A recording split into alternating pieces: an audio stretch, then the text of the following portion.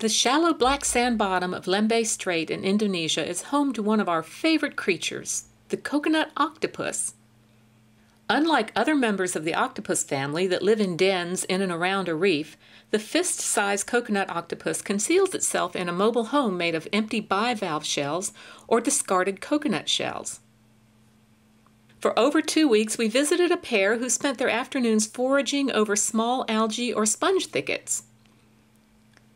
The first day we spotted them, one had a home of bivalve shells embellished with a piece of green glass. The other, a bit messier, lived in a collection of coconut shell pieces, a metal can top, and a flip-flop strap. Although they would abandon their homes while foraging, the pair never ventured more than five or six feet from each other. Occasionally, one would trade out a piece of home for some new item, and sometimes one would just take a piece away from the other. Paying little attention to us as they hunted, they stretched long arms to feel about inside algae clumps or holes in the sand. If a prey item was detected, their probing arm tips chased it into their tent of tentacles.